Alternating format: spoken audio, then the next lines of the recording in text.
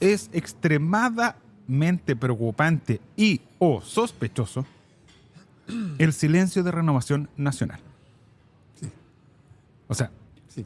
¿por qué tanto con renovación nacional? Porque dentro de las personas que cambiaron su domicilio para esta mala práctica, digamos, de votar en una región distinta, a la, en una comuna distinta a la que vives, hay ex está eh, Omar Faría, ex seremi. Eh, Rodrigo Sánchez, me parece que es el nombre de un ex candidato de, Sí, de- eh, a Mejillones de por. Mejillones, sí.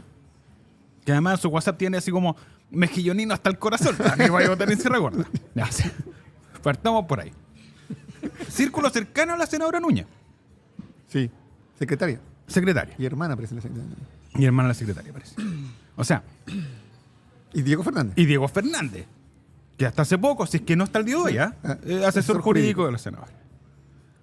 Sin contar que eventualmente más el resto del equipo que también apoya la campaña de Diego Fernández. Sí, Marcos Luza. Marcos Luz. Está- también no, no, Entonces- bueno, nunca habló mucho, pero El silencio que hay es porque yo creo que Renovación Nacional perdió el decoro respecto a las herramientas para ganar una elección en Sierra Gorda. Ah, y contrapone la actitud de Paulina Núñez cuando o sea, se trataba de, Karen Rojo. De Karen No había Rojo. día que no comentaba lo que hacía Karen Rojo y todo eso, Sí. dando lección de moral y todo eso. Media, media RD pasó asunto Sí. en ese sentido. O sea,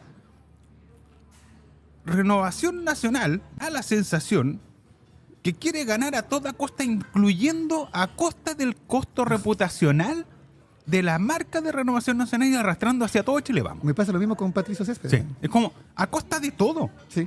RN lo que Sí, quiere vamos, vamos, es vamos, ganar la municipalidad de Sierra Gorda, independiente del desprestigio del partido, de los cuestionamientos sobre sus parlamentarios. José Sí. Miguel Castro se extraña, se extraña una mirada más crítica respecto No, a esta ya, ya es grotesco su silencio de él Sí. también. Sea, está O bien sea, de no así decir las cosas sí. media, una media, Sí. pero ya ahora no habla. Los ex eremis que, están, que acabo de mencionar, o ex candidatos, también le hemos solicitado que hablen, no han querido hablar.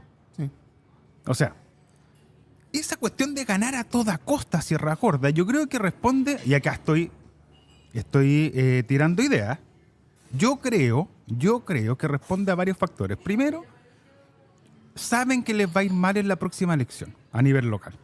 Y necesitan, aunque sea un triunfo, porque aquí hay harta gente que darle pega.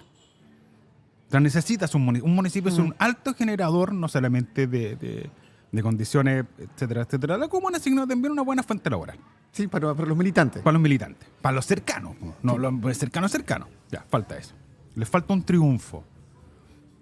Y segundo, es que yo creo, y acá me lanzo a la piscina, yo creo que hay una señal de que creo que la senadora Núñez no va a buscar la reelección en Antofagasta, sino que la va a buscar en Santiago.